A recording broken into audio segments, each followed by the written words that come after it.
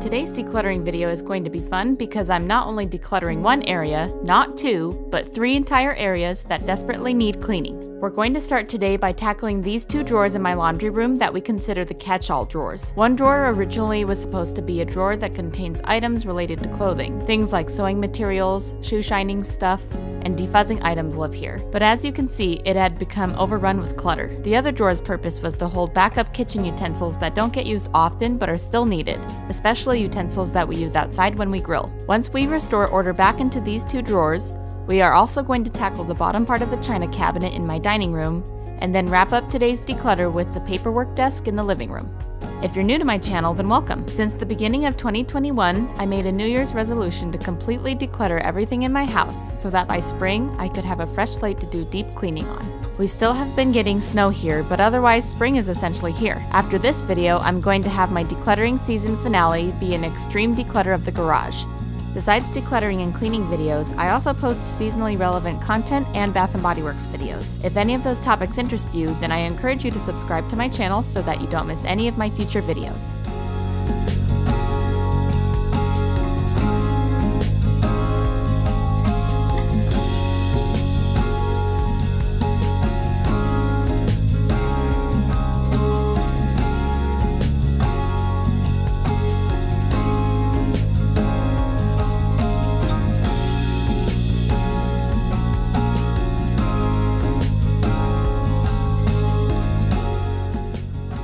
Once I've sifted through the items that are obviously trash, I'm going to find all electronic items and put them in the red basket, and keepsake items in the cauldron. Then with whatever I'm left with, I will sort into piles based on like item.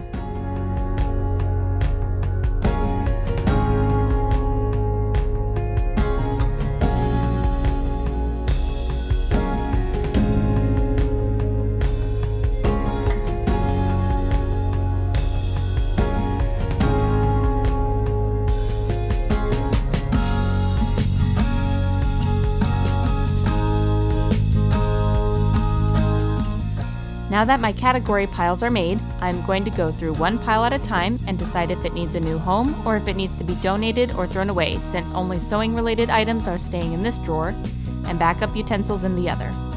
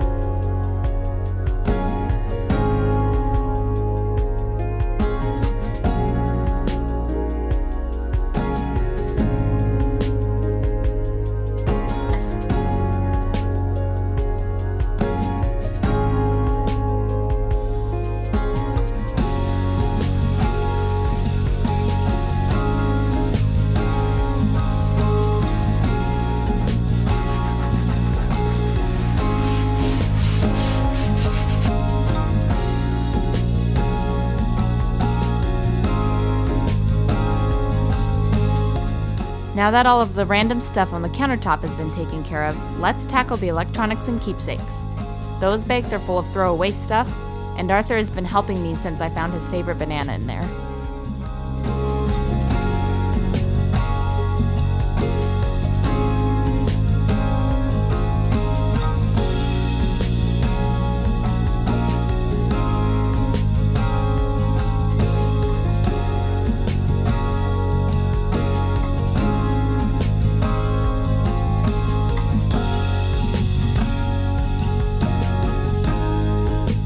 This is all the stuff that will be donated here. As a reminder, here's how they looked before, and here they are after. Now let's move on to the next project.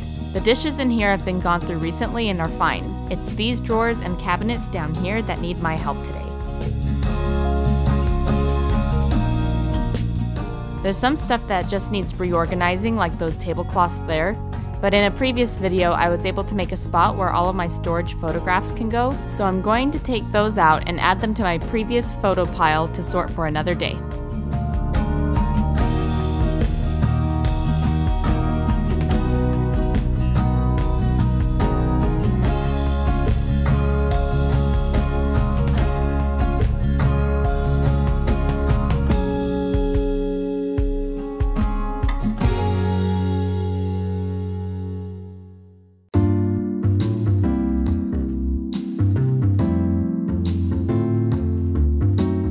Now that we've got those photo albums with the other picture box I have downstairs, we can use this cabinet just for table setting, which makes much more sense. On to the desk. This desk is housing a lot of cookbooks that can be put back on the bookshelf, office supplies that need narrowing down, and the filing system for important documents that haven't been updated in a while. So first we're going to clear everything off and give it a good clean, then to start decluttering.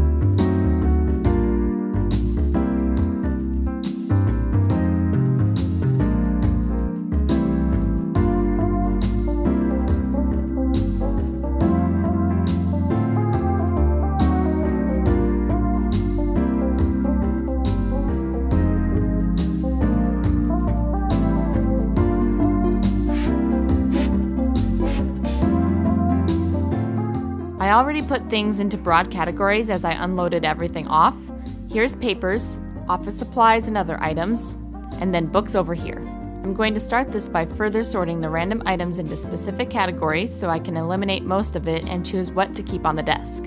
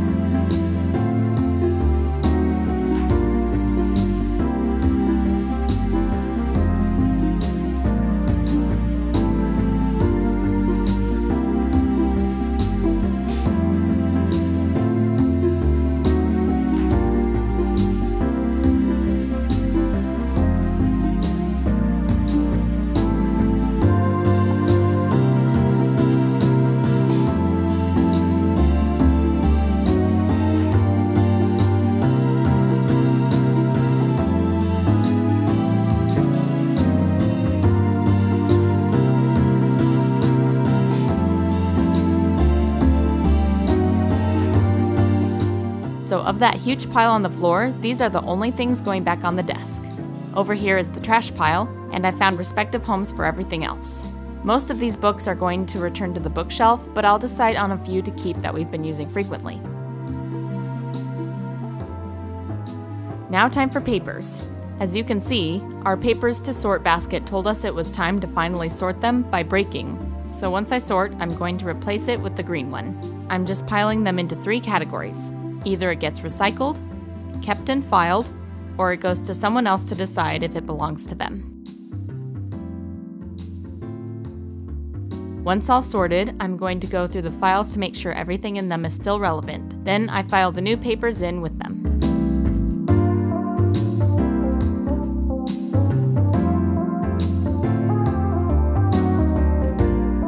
There weren't really official categories for the folders, so I'm busting out my handy dandy label maker. Now that they will be labeled, it's going to be a lot easier to file papers quickly in the future.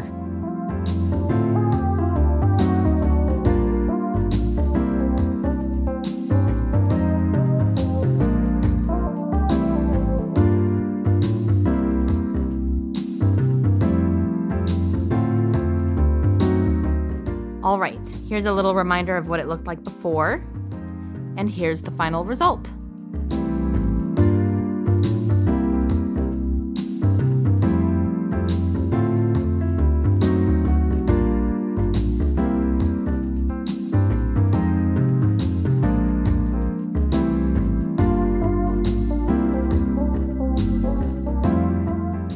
I hope this video brought you some extreme decluttering motivation. If it did, then don't forget to give this video a thumbs up.